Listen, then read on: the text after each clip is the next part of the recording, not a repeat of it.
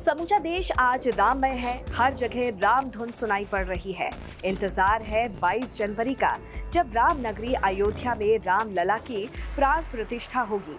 इसी राम नाम से जुड़ी एक दिलचस्प बात हम आपको अपने इस वीडियो में बताएँगे, जिसे जानकर आपको भी आश्चर्य होगा।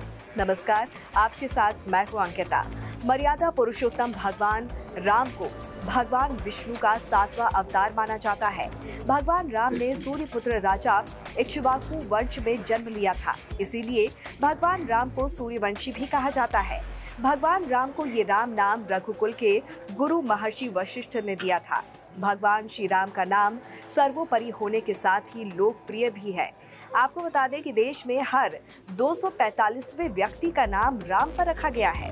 तो वही दूसरे नंबर पर कृष्ण का नाम है। दुनिया में 19 लाख से अधिक महिलाओं के नाम सीता पर रखे गए हैं। फोर्बियस डॉट इन वेबसाइट के मुताबिक देश में राम नाम नंबर वन पर है।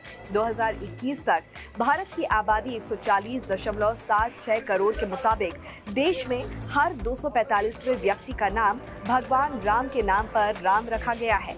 दुनिया भर की। अगर बात करें तो सत्तावन लाख तैतालीस हज़ार अड़सठ लोगों के नाम राम हैं।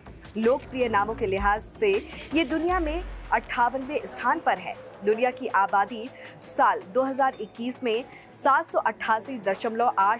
करोड़ थी। ऐसे में दुनिया भर में हर तेरह व्यक्ति का नाम राम है।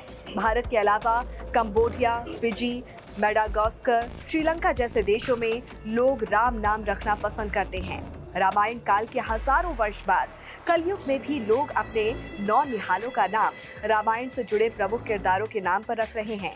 देश दुनिया में 19 लाख से ज़्यादा महिलाओं और लड़कियों के नाम माता सीता के नाम पर रखे गए हैं। लोकप्रिय नाम के लिहाज से सीता दुनिया में 325वें स्थान पर है। भारत के अलावा नेपाल में भी लोग बेटियों का नाम सीता रखना पसंद करते हैं। तो वहीं दूसरी तरफ़, ये भी अचरज की बात है कि कुछ लोगों ने अपनी बेटियों का नाम मंथरा भी रखा है।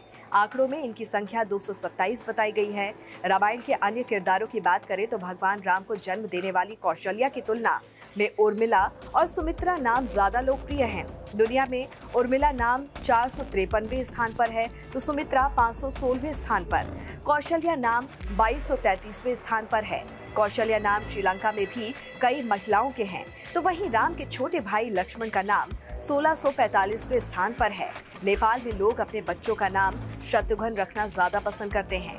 दुनिया में सत्रह हज़ार पाँच सौ अड़तीस लोगों के नाम रावण हैं, तो वहीं दस हज़ार दो सौ नवासी लोगों के नाम विभीषण रखे गए हैं। चौदह लोगों ने मेघनाथ के नाम पर अपना नाम रखा है। तो वहीं सत्ताईस हज़ार पाँच सौ बयानवे महिलाओं के नाम कैकई भी रखे गए हैं।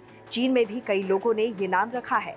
उसी तरह से देवी देवताओं पर रखे जाने वाले अन्य पसंदीदा नामों में मोहन, शंकर, गोपाल, गणेश, महेश, शिव नारायण, हरि, जगदीश और विष्णु भी खूब रखे जाते हैं दुनिया के पसंदीदा नाम की श्रेणी में भारतीय देवियों में लक्ष्मी दो सौ नब्बे, राधा चार सौ छप्पनवे, दुर्गा आठ सौ सत्तावनवे और पार्वती इकतीस सौ स्थान पर। जानकार बताते हैं कि लोगों में ऐसी धारणा है कि देवताओं के नामों पर बच्चों का नाम रखने से भगवान का स्मरण होता रहता है। समय बेशक बदला हो, लेकिन लोग आज भी बच्चों के नाम देवी देवताओं के नामों पर सबसे ज़्यादा रखना पसंद करते हैं। लोगों के व्यक्तित्व में उनके नाम का काफ़ी असर पड़ता है। अंग्रेज़ी के कवि और महान नाटककार विलियम शेक्सपियर ने कहा था कि नाम में क्या रखा है। हालाँकि नाम में कुछ नहीं रखा है और बहुत कुछ रखा भी हो सकता है। निर्भर करता है कि उस नाम के पीछे आपकी क्या पहचान जुड़ी है। आपने क्या मुकाम हासिल किया है। नाम रोज बदलते जाते हैं, परंतु पहचान वही रहती है जो बनी होती है। पहचान नाम से नहीं, किसी व्यक्ति के काम उस चीज़ से जुड़ी याद इतिहास से होती है। तो इस पर आपकी क्या राय है, ज़रूर बताइए, कमेंट करके। नमस्कार।